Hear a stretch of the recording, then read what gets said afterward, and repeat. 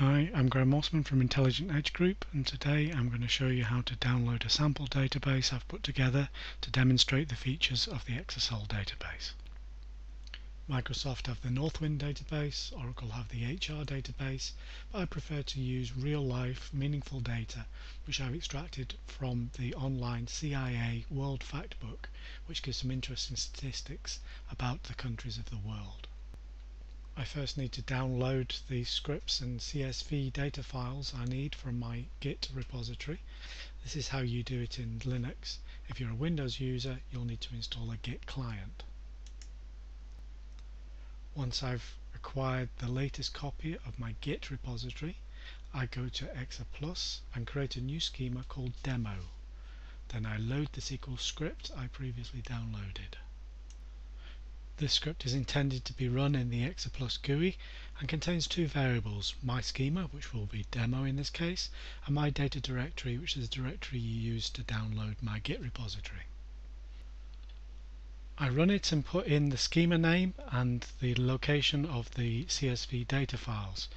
The tables will be created and the data will be imported into those tables from the CSV files. Now that we have the sample data loaded, we can try out some of Exasol's SQL language features and have a look at this rather excellent ExaPlus GUI. Here's a query which returns the GDP of a country, basically a measure of how rich it is, and the number of airports in that country. You might imagine that there's a link between how rich a country is and how many airports it has. Well, here you can prove just how strong that correlation is with this Exasol function.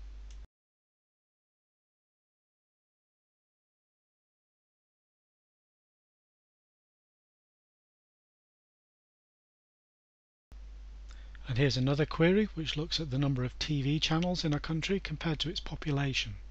If you ignore the countries with no TV channels or an unknown number of them, the least well-served country in the world is Ethiopia, which has only one TV channel for nearly 94 million people.